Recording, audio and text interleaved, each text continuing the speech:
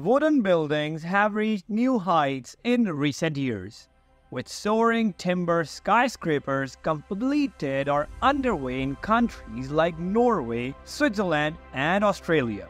Singapore, meanwhile, has the largest timber building in Asia with a sprawling 468,000 square foot college campus that opened in May 2023.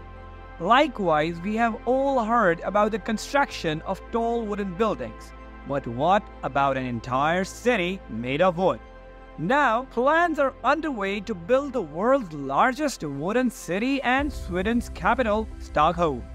Timber has been championed as a sustainable alternative to concrete and steel with ambitious new wooden construction projects beyond single family homes and modest residential or office buildings taking shape.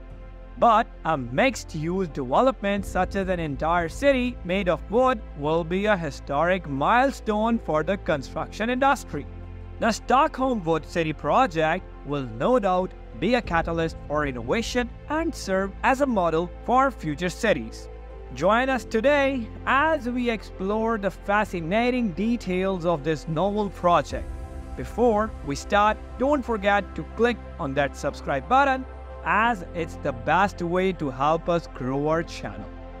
Stockholm Wood City will become the world's largest mass timber development.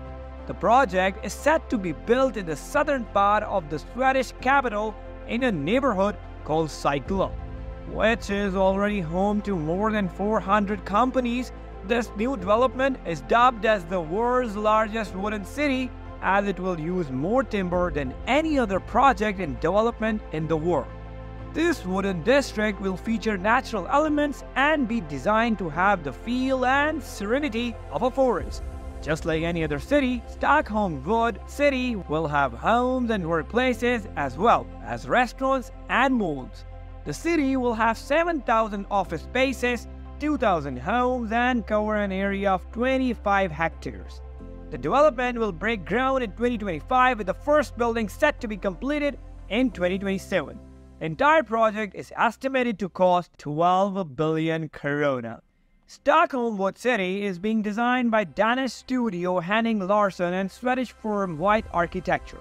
While the project is developed by Swedish firm Atrium Ljungberg, their main goal is to create an urban environment infused with the serenity of a forest, resulting in a dense open space that bears the minimalistic and functional aesthetic of Scandinavian design. The architects have innovatively incorporated natural elements into the structures. For instance, the wooden building will have green roofs for better insulation and large windows to let a natural light showcasing how the city can thrive in harmony with nature.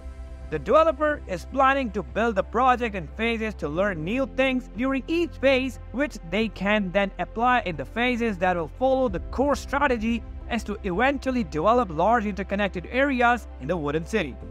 This way, the architects can create places full of variety that people enjoy and where they want to be as opposed to just setting up a single building. Wooden construction means significantly reduced climate impact both during the construction phase and through the whole life cycle. Wood is considered a more environmentally conscious material than steel and concrete, and its use in construction projects emits fewer pollutants. This new project will also considerably reduce transport-related emissions. In fact, the project's website describes Stockholm Wood City as a five-minute city, meaning that all establishments such as schools, grocery shops, and offices are only a few minutes away. Research has also proven other strong benefits such as improved well-being for people and a faster, quieter construction process. Stockholm Wood City will have self-produced stored and shared energy, but details of the project's energy production have not been released yet. Despite the fact many benefits fire safety experts are extremely concerned about mass timber buildings being constructed around the world.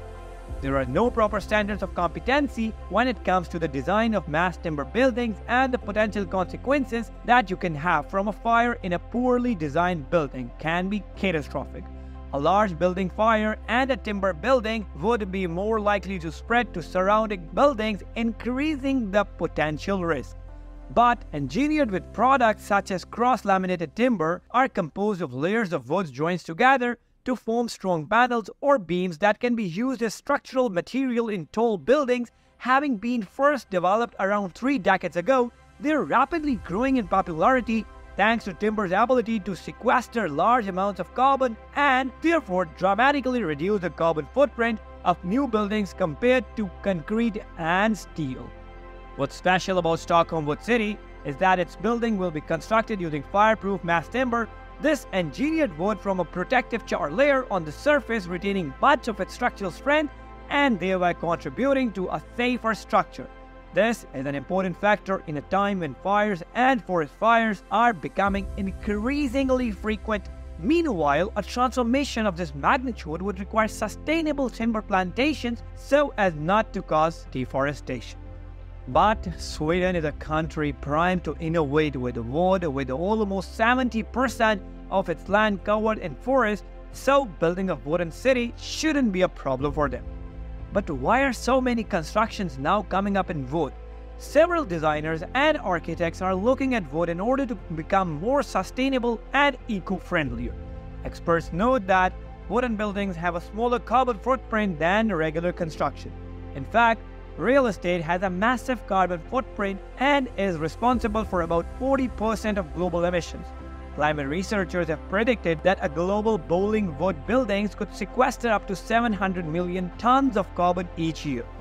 A 2022 study published in the journal Nature estimated that constructing enough mid-rise timber building styles 90% of a new city dwellers between now and 2100 would lower carbon dioxide emissions by 106 gigatons.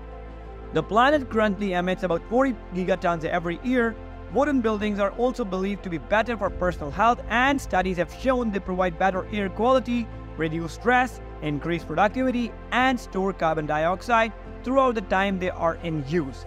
Another advantage of wood as a building material is that it is much lighter than concrete. Wood weighs only about a fifth of the weight of the same volume of concrete and does not need to be dried as part of the production process like concrete.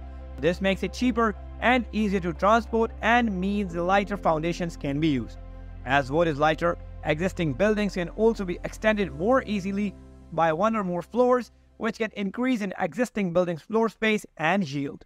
Wooden construction will also not be as noisy as it would be if the town were built from concrete and bricks and in times when earthquakes are becoming more common, wooden buildings are more preferable as they can absorb shocks better than bricks and concrete. While Stockholm Wood City will be the largest wooden city when completed, it's not the only construction in wood.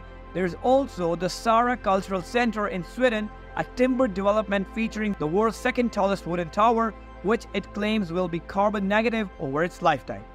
Norway is home to the world's tallest timber residential building, surpassing 280 feet. The Mjøstårnet Tower in Norway is an 18-story mixed-use wooden building there's also a Toronto waterfront project that will feature one of the largest residential mass timber structures in Canada when construction is complete. In Asia, Singapore holds the honor of housing the largest timber building called Gaia sprawling across 42,500 square meters. This construction was built at a cost of 125 million Singapore dollars, a design decision that celebrates natural materials while giving visitors the feeling of walking between trees. What do you think about Sweden's plan to build the world's largest wooden city? Comment your thoughts below. Thanks for watching and see you in the next video.